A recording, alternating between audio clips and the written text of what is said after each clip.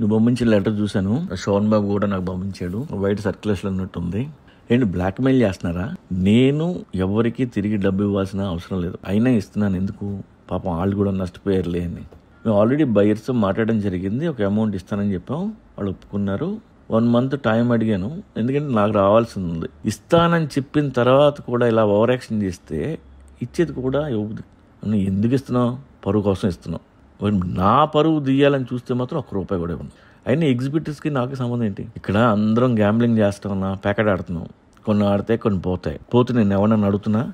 వీళ్ళు మగాళ్ళు కాదు ఒకళ్ళు లేడు ఇక్కడ. అదే సినిమా హిట్ అయితే బయ్యర్స్ దగ్గర వసూలు చేయడానికి నానా సంఖ్యలు నాకల్ని పోకిరి దగ్గర నుండి ఇస్మార్ట్ శంకర్ దాకా బయ్యర్స్ దగ్గర నుండి నాకు రావాల్సిన డబ్బులు ఎన్నో ఉన్నాయి. బయ్యర్స్ అసోసియేషన్ అవి నాకు వసూలు చేసి పెడుతుందా? పెట్టదు కదా? అన్న నా సినిమా కొన్నవాళ్ళందరూ పెద్ద పెద్ద డిస్ట్రిబ్యూటర్లు పైగా పెద్ద ప్రొడ్యూసర్లు. మా శోభన్ బాబు అయితే ఇండస్ట్రీలో అన్ని సినిమాలకి కోట్లు కోట్లు డబ్బిస్తుంటాడు. అప్పిస్తుంటాడు. ఎగ్జిబిటర్ అంటే ఎవడు?